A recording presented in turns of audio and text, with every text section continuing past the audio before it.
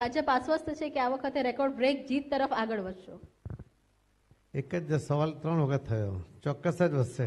ચોક્કસ વધશે પરંતુ ભાજપની સામે આ વખતે પડકાર કયા છે? કેમ કે ગુજરાતમાં એવું જોવા મળી રહ્યું છે કે ભાજપમાં આ વખતે ગુજરાતના રાજકારણમાં ગુજરાતના ઇલેક્શનમાં ત્રિપાંખીયો જંગ જોવા મળી રહ્યો છે. આપ કઈ રીતે જોઈ રહ્યા છો? ગુજરાતનો ઇતિહાસ જોયો તો અહીંયા ત્રિપાંખીયો જંગ ક્યારેય જામતો નથી. પરંતુ જામતો નથી એ વાતના આધારે હું કોઈ રિઝલ્ટ કેવું આવશે એ માનતો નથી કે એના આધારે મારું ગણિત નથી. પરંતુ કોંગ્રેસ પોતે ઊભા થવાનો પ્રયત્ન કરે છે અને એમને કાક ઘોડી પડી જાય છે. કોઈ એવા એક એક બનાવ બનતા હોય છે કેન્દ્રમાં જુઓ કે લોકલ એમાં એના કારણે એ કોંગ્રેસ ઊભી થઈ શકતી નથી એ સૌથી મોટો પ્રશ્ન છે. બીજો જે બીજી પાર્ટીની વાત તમે કરો છો કે ત્રિપાખ્યા જંગમાં એ તો જે દરેક પાર્ટી એના મેનિફેસ્ટો આપતી હોય છે. એ મેનિફેસ્ટોમાં બાકીની પાર્ટીઓ અને ભારતીય જનતા પાર્ટીમાં ફરક છે.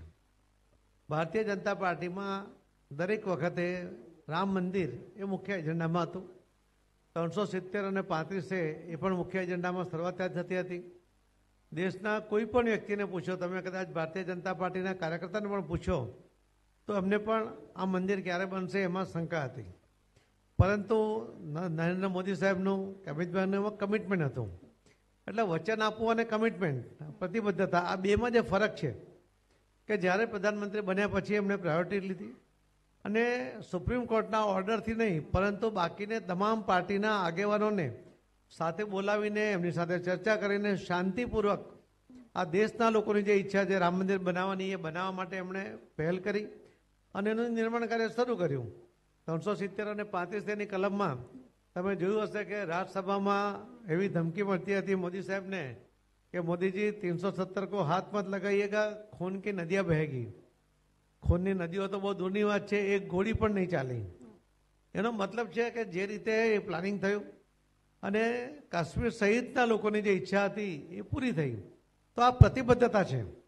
બાકીના લોકો જે રીતે કોઈ કાર્ડ વેચે છે કોઈ ગેરંટી આપે છે તો મેનિફેસ્ટો એક પ્રકારની ગેરંટી જ છે. પણ ભારતીય જનતા પાર્ટી જે કહે છે લોકહિત માટે કરે છે. અને એમણે આજ દિન સુધી એ કરતા આવ્યા છે લોકોને ખબર છે કે જ્યારે ત્રણસો સિત્તેરની કલમ વખતે જે વાતાવરણ હતું લોકોના મનમાં ને શંકાઓ હતી એ બધી શંકાઓ દૂર થઈ. કોરોનાના સમય જેવા સમયમાં બીજા પર ડિપેન્ડ રહેવાને બદલે જે આત્મનિર્ભરતાની વાત મોદી સાહેબ વર્ષોથી કરતા હતા એને કોંગ્રેસ કે વિરોધીઓ હાસ્યાસ્પદ ગણાવતા હતા. પણ મોદી સાહેબે આત્મનિર્ભરતા બતાવી, કોરોનાની અંદર જે સાયન્ટિસ્ટો આપણા દેશના છે એમની પર ભરોસો કર્યો, એમને સપોર્ટ કર્યો અને એમના દ્વારા જે બે રસી પહેલી આવી એના કારણે આખા દેશના તમામ લોકોને રસી આપી શક્યા. આખા વિશ્વમાં એવો એક પણ દેશ નથી કે જ્યાંના તમામ લોકોને રસી આપવામાં આવી અને ફ્રી આપવામાં આવી.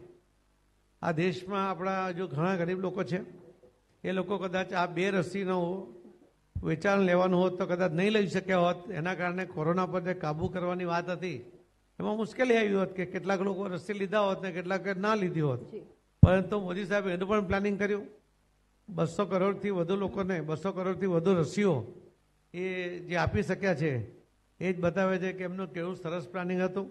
અને દેશમાં કોઈ વ્યક્તિ એમની જાનની રક્ષા કરવા માટે જ્યારે વાત આવી ત્યારે એમણે એમને ફ્રી રસી પણ આપી છે. એંસી કરોડ લોકોને સતત એમણે અનાજ આપ્યું.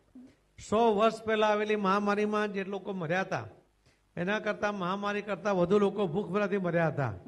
આદરણીય પ્રધાનમંત્રી નરેન્દ્ર મોદી સાહેબના પ્લાનિંગથી આ છેલ્લા કોરોનાના બે વર્ષથી વધુ સમયથી એક પણ વ્યક્તિ ભૂખમરાને કારણે મર્યો નથી. આ એક રેકોર્ડ છે. તમે અમેરિકામાં પણ બ્રેડ માટે કારની લાઈનો જોઈ છે. જ્યારે આપણા દેશની અંદર લોકોને ઘરમાં સહજતાથી ફ્રીમાં જરૂરિયાતમંદ લોકોને એ જે રાશન આપી શક્યા છે, એ જે મોદી સાહેબની જે પ્રતિબદ્ધતા છે એમાં દેખાય છે.